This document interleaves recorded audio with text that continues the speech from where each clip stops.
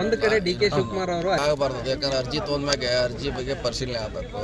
ಸರಾಸಗಟವಾಗಿ ಚರ್ಚೆ ಆಗಬೇಕು. ಯಾಕಂದ್ರೆ ಅರ್ಜಿ ಹಾಕಿದವ್ರಿಗೆ ತೊಂದರೆ ಆಗ್ತದೆ. ಯಾಕಂದ್ರೆ ನಾವೆಲ್ಲ ಅರ್ಜಿ ಹಾಕಿರ್ತೀವಿ. ಇನ್ನು ಇನ್ನೂ ವಿದ್ಯಾರ್ಥಿನಾಗಿಲ್ಲ. ಆಗಿಲ್ಲ ಅಭ್ಯರ್ಥಿ ಘೋಷಣೆ ಮಾಡೋದು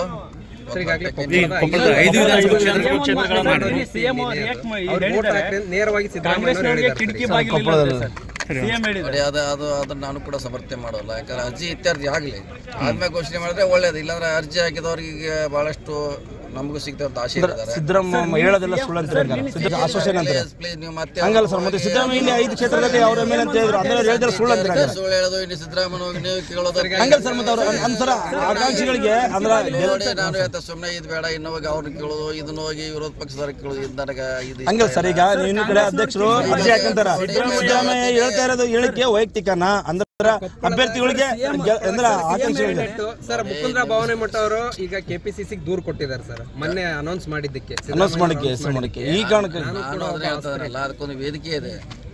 ಅದಕ್ಕೆ ಟಿಕೆಟ್ ಕೊಡ್ಲಿಕ್ಕೆ ಒಂದು ವೇದಿಕೆ ಇದೆ. ಅಲ್ಲಿ ಆದ್ಮೇಲೆ ಅದಕ್ಕೆ ಮಹತ್ವ ಬರ್ತೈತೆ. ಯಾಕಂದ್ರೆ ಈಗ ನಾನು ಹೇಳ್ಬೋದು ಯಾರು ಹೇಳ್ಬೋದು ಈಗ ಅಂತಿಮ ಅಲ್ಲ. ನಾಳೆ ಕೆಲವು ಬದಲಾವಣೆನೂ ಆಗ್ಬೋದು. ಹಾಗಾಗಿ ನಾವು ಮೊನ್ನೆ ಡೆಲ್ಲಿಯಲ್ಲಿ ಕೂಡ ಹೈಕಮಾಂಡ್ಗೆ ಅದನ್ನ ರಿಕ್ವೆಸ್ಟ್ ಮಾಡ್ತೀವಿ ಆದಷ್ಟು ಬೇಗ ಅಭ್ಯರ್ಥಿಗಳನ್ನ ಘೋಷಣೆ ಮಾಡಿದ್ರೆ ಇದೆಲ್ಲ ಸಮಸ್ಯೆ? ದೂರ ಒಟ್ಟಾರೆ ಸಿದ್ದರಾಮಯ್ಯ ಹೇಳೋದು ಅಂತಿಮ ಅಲ್ಲ ಅಂತ ಅಂತಿಮ ಅಲ್ಲ. ಸಿದ್ದರಾಮಯ್ಯ ಬೆಲೆ ಇಲ್ಲ. ಸಿದ್ದರಾಮಯ್ಯ ಹೇಳೋದು ಅಂತಿಮ ಅಲ್ಲ. ಮತ್ತೆ ಬತ್ತಲ್ಲ.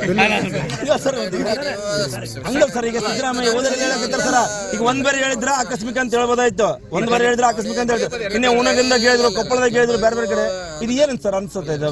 ಜನರಿಗೆ ಏನ್ ಅನ್ಸುತ್ತೆ ಮೆಸೇಜ್ ಏನು ಈ ತರ ನನಗೆ ನೀವು ಟ್ವಿಸ್ಟ್ ಮಾಡಿ ಅಲ್ಲಿ ಹೋಗಿ ಮತ್ತಿಲ್ಲ ಸರ್ ಈಗ ಸಿದ್ದರಾಮಯ್ಯ ಅವರ ಅಭ್ಯರ್ಥಿಗಳನ್ನು ಘೋಷಣೆ ಮಾಡ್ತಾ. ಇರೋದ್ರಿಂದ ಬೇರೆ ಅಭ್ಯರ್ಥಿಗಳು ನಾವು ಈಗಲೇ ಇದೆ ಈಗೆಲ್ಲ ಹೇಳಿದ್ ನಿಮ್ಗಿಂತ ಮುಂಚೆ ಹೇಳಿದ್ರೆ ಸರಿ ಅಲ್ಲ ಅದು. ದಾರಿ ಬೇಗ ಆದಷ್ಟು ಮಾಡಿದ್ರೆ ಒಳ್ಳೇದು. ಯಾಕಂದ್ರೆ ನಲ್ಲಿ ಇದ್ದಾರೆ ಅವರು ಆಸೆ ಇದೆ.